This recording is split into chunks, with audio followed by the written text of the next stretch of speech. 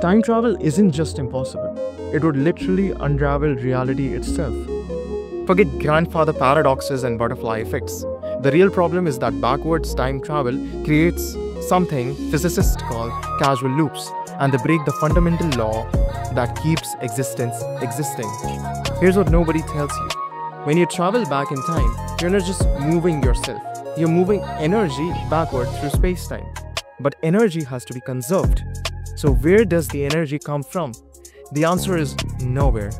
You have just created energy out of nothing. That's not even the worst part. Every atom of your body carries information. Quantum steps, spins, position. When you arrive in the past, you have just duplicated all that information. The universe has now more information than it started with. This violates the second law of thermodynamics. So, what happens? The universe has two choices either entropy reverse everywhere to compensate, which means stars start burning backward and death becomes birth, or space time itself steers apart at quantum level. This is why Stephen Hawking proposed the chronology protection conjecture. The universe literally has built in defenses against time travel.